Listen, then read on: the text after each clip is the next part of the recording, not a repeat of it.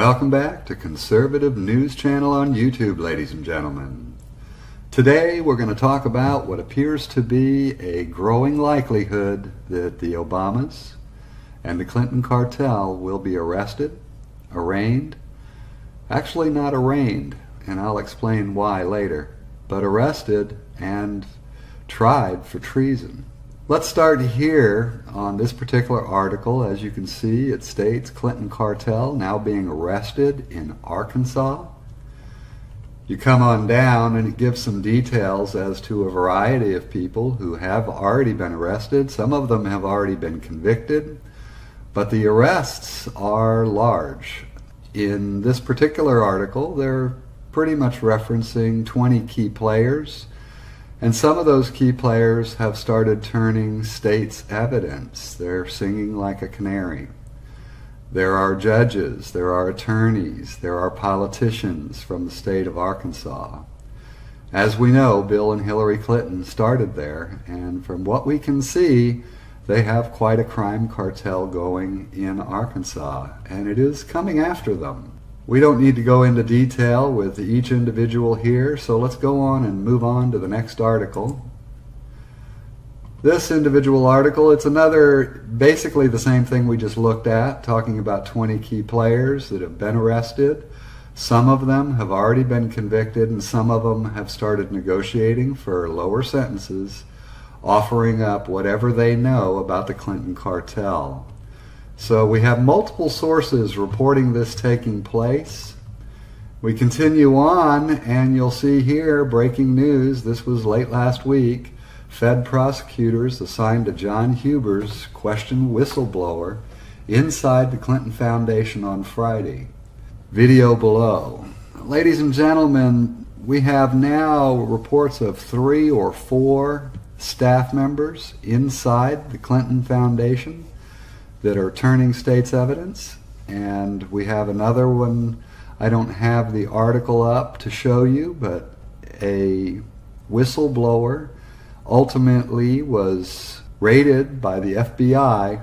And during that raid, they took his computers, they took his documentation, they took everything. Now, keep in mind when you hear about this raid that the deep state is still in control of chunks of the FBI. And it is very possible that when Hillary Clinton found out the attorney's name that was turning state's evidence, they wanted to know what he had collected and need to know to find out how much trouble she is in.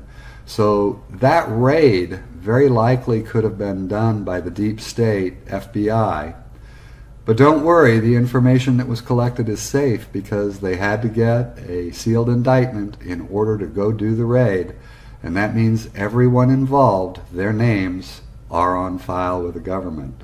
In our next article, you see the common thread behind four investigations.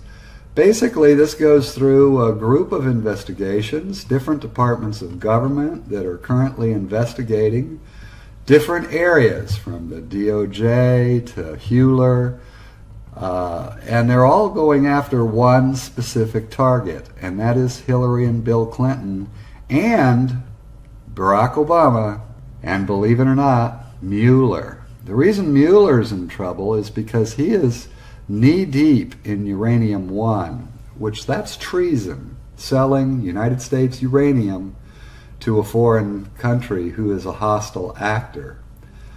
That's the reason on January the 1st, Donald Trump signed into law the ability to try people in a military tribunal that are charged with treason. Interestingly enough, they spent $200 million remodeling and expanding Gitmo in Cuba. And about 20 days ago, I had made a comment in one of my videos that they had sent about 20 USMJ attorneys to Gitmo so that they could start getting ready to do some work. Now, the interesting thing about Gitmo at the moment is that that place is empty. Obama emptied it as his last official act before leaving office. So there's nothing for them to do unless somebody creates some work. Now let's move a little bit further and check out the news today. Again, here we are with Gitmo, 305th Military Police Company deploys to Gitmo Bay. So now we have USMJ attorneys, 20 of them, and we have 100 military police stationed at Gitmo for zero prisoners. Sure sounds to me like that January the 1st ability to prosecute through military tribunal anyone committed of treason with a foreign nation. It sounds like this is where they're all going.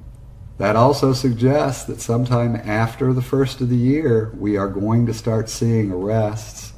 I am guessing that they're going to continue moving up the food chain so that they can gather as much evidence as humanly possible so that it's impossible to say when they arrest a Hillary Clinton or a Bill Clinton or a Obama that there will be no shadow of a doubt as to guilt. They will have enough individuals willing to testify as to what they did to ensure conviction. How quickly this is all going to come about, I do not know, but the fact that they are putting together a team in Gitmo to handle the prisoners tells me that we may not have a long wait. Anyone who's been paying attention to Q, he has basically said what has started cannot be stopped. It is unstoppable. A lot of people, when it comes to Mueller, don't realize that the reason Mueller was put in charge of the investigation into Trump was the Hillary Clinton and company knew that one day the bell would toll on their actions. And the only way to stop that bell from tolling was to keep the deep state in power and go ahead and get rid of Trump as fast as humanly possible.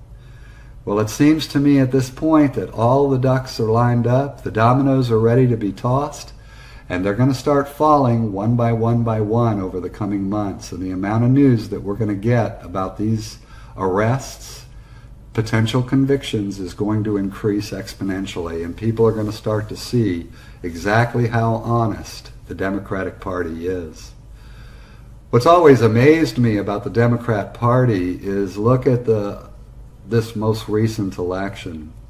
You've got President Trump pulling 20, 30, 40,000 people to venues for speaking. You've got Obama out speaking on different politicians' behalfs, and he's pulling 900, 1,500, 2,000, 3,000. And yet, they got 56% of the vote. This month, we're going to see a report from DHS that should detail what fraud they found. There are a lot of people who have suggested that the Department of Homeland Security had a lot of surveillance equipment plastered around the country in different polling booths that have been suspected of voter fraud. And we're going to start getting an idea of exactly how deep that rabbit hole goes. So, as we go into January, once the Christmas season is over, be prepared for fireworks. Ladies and gentlemen, I hope you'll take the time to like and subscribe, and I'll see you in the next video.